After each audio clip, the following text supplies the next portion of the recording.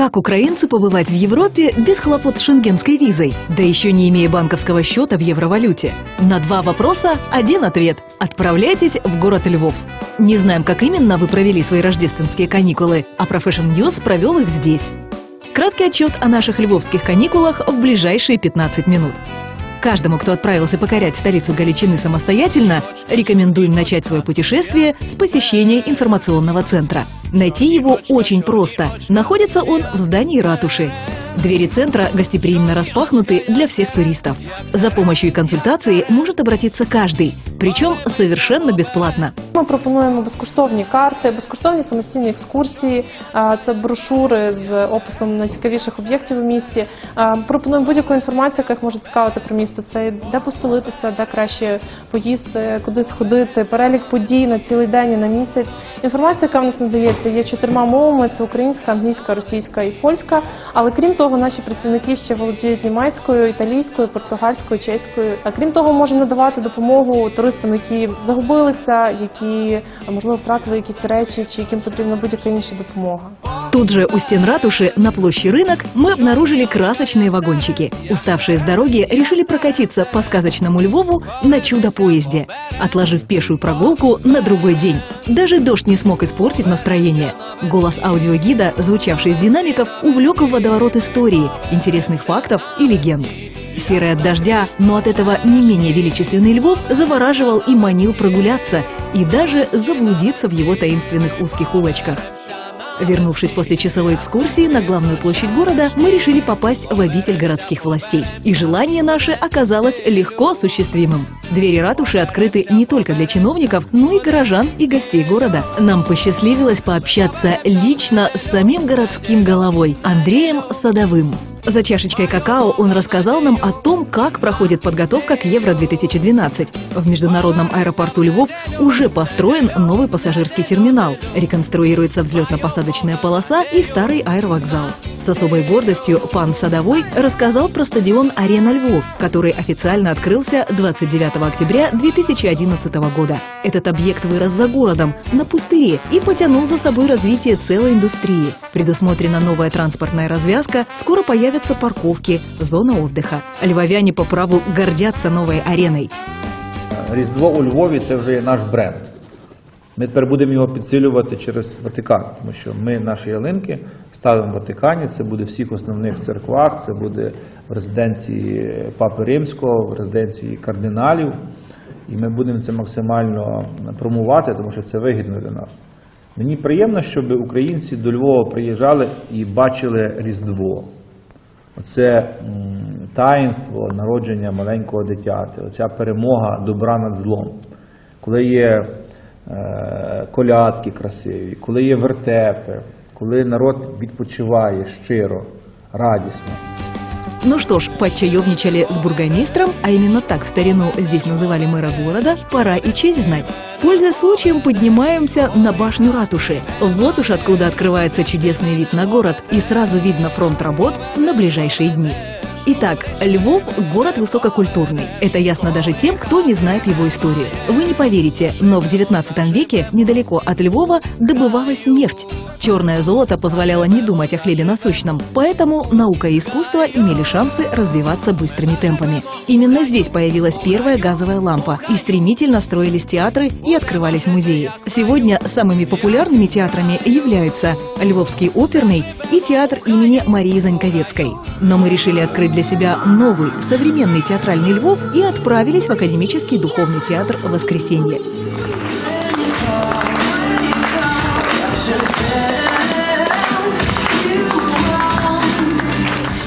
Без посещения музеев тоже не обойтись. Выбор их, к счастью, огромен. Тут и арсенал, и аптека-музей. Мы останавливаем свой выбор на музее сакральной барокковской скульптуры Иоанна Пинзеля. Располагается он в бывшем костеле Кларисок, который сам по себе является памятником архитектуры.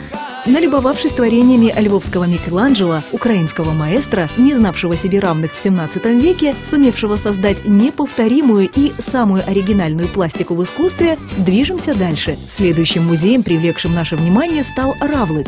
Что ждать от места с таким названием? Оказалось, что музей этот настолько мал, что по его узким лабиринтам можно двигаться только гуськом. И очень медленно, ну прям как улитка, то есть равлык. Модные новости не могли обойти вниманием также музей нестандартный, патриотично-креативный. В музее-ресторане «Сало» национальный продукт возведен в культ. В музее можно увидеть голубое сало Владимира Сорокина, экспонаты Леся Подеревьянского, группы «Синие носы», а также многих других представителей современного арта на заданную тему. Продегустировать скульптуры из сала и конфеты «Сало в шоколаде». Но есть здесь творения, которые не едят. Например, самое большое в мире сердце из сала. Его уникальность еще и в том, что оно работает, прокачивая через себя жидкость. А специальные датчики фиксируют давление 110 на 90. З 10 на вихідних з 12 до 6 ми працюємо як музей, після 6 до 11, а на вихідних до 2 ми працюємо як водка-бар. Якщо ви прийдете до 6, ви отримаєте екскурсію, дегустацію сала та напій, горілку, пиво або сік. Якщо ви прийдете після 6, ви отримаєте 56 видів горілки, дуже смачні страви і чудовий настрій.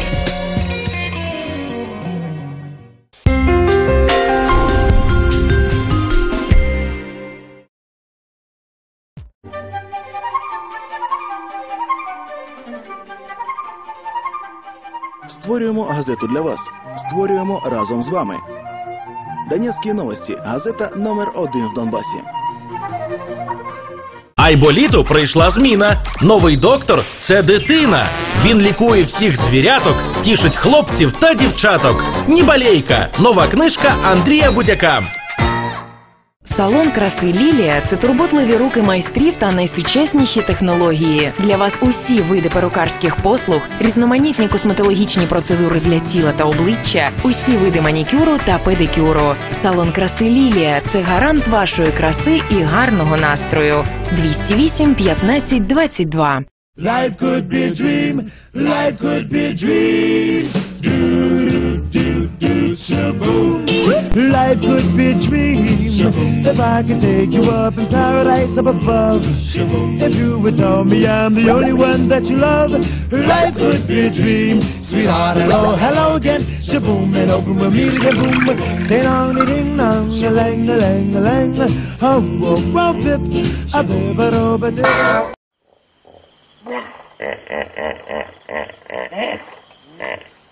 Oh, oh, oh, oh,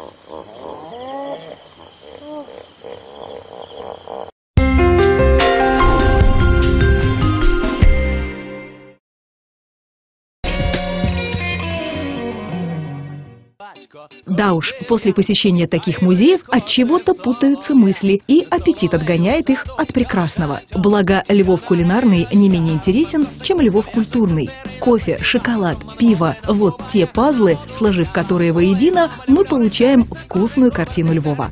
Город пропитан ароматом кофе. Кажется, что тут появилась не только первая агасова лампа, но и первая колыжанка кавы. 20 кружек в день. Как вам это? Да-да, у львовян, наверное, даже в анализе крови можно обнаружить постоянное присутствие кофеина. Уважающие себя и традиции своего края пани Топановы каждое субботнее утро начинает с посещения кавьярни. Ароматный кофе, свежая газета, неспешная беседа, по-домашнему вкусная выпечка, особенно пляцки. И время словно останавливается. Забегая вперед, хочется отметить, что волшебную атмосферу львовского субботнего утра может затмить только утро воскресное. Когда каждый житель в любое время года, невзирая на погоду, отправляется на службу. Каждый в свой приход.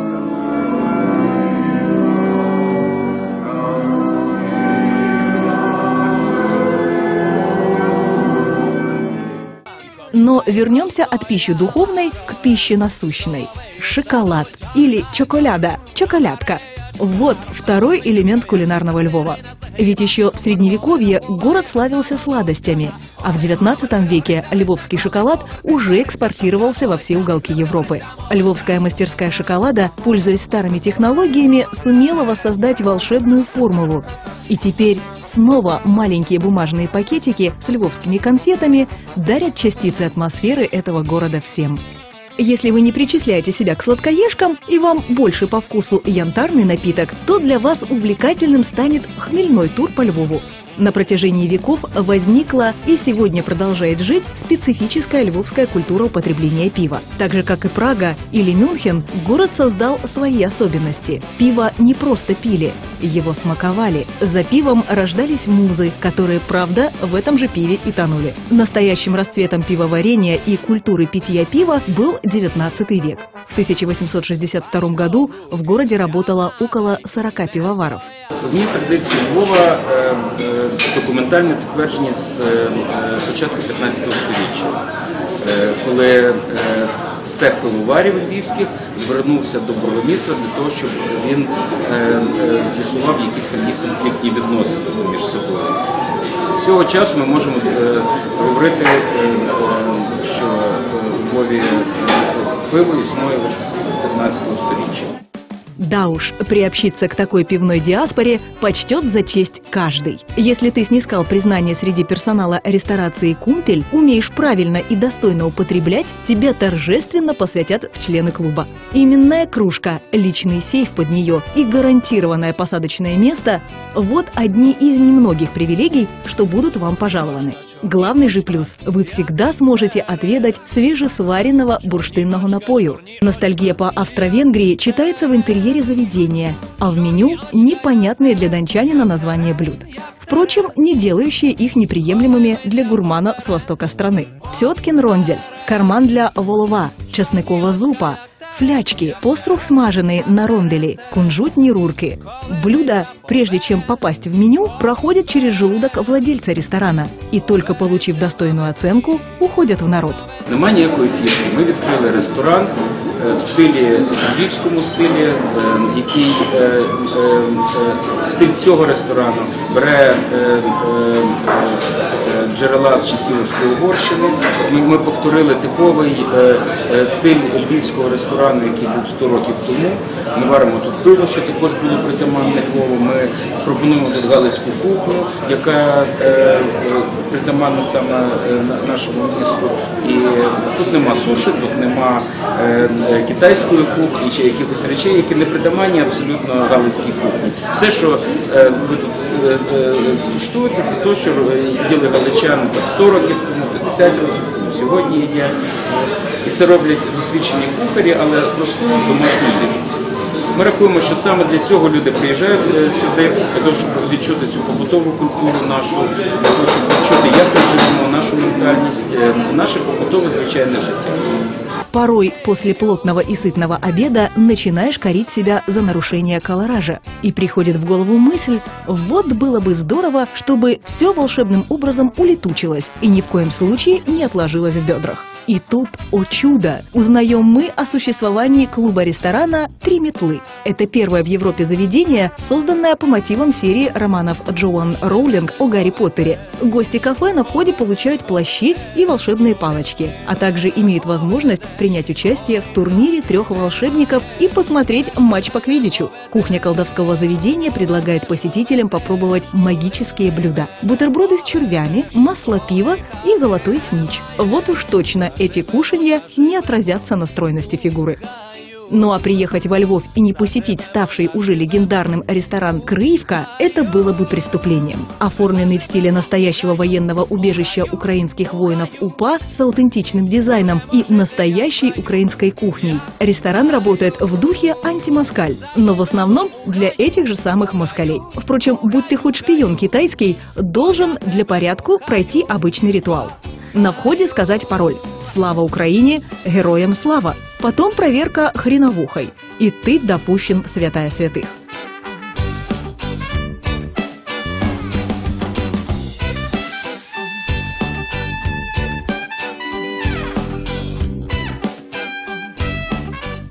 Ну а там держи ухо востро. Балакай українською. А ежели не знаешь языка, лучше сиди да помалкивай. И, боже сбавь, если твой спутник таки окажется москалем. Расправы не миновать.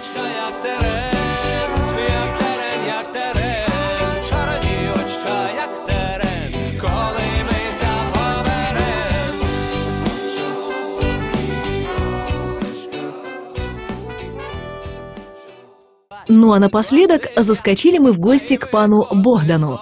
Он, как всегда, встретил хлебосольно и радушно. Поболтали, обменялись новостями, выпили за вас, за нас и за Донбасс. Нет, это не дальний родственник. А если и так, то родственник он всем тем, кто хоть однажды побывал в львовском ресторане «Масоны». Но при этом умудрился попасть в это респектабельное заведение не через парадный вход, а через вход соседней квартиры. Вот такой он, Львов, полный загадок и тайн Необъяснимый, чарующий, влюбляющий в себя с первого взгляда, с первого вздоха. Это химия, которую не объяснить и не описать словами. За ответом на вопрос «Почему я так люблю Львов?» ты едешь туда вновь и вновь и влюбляешься еще сильнее. Медіапартнер програми журнал Дон Сіті Пост. The great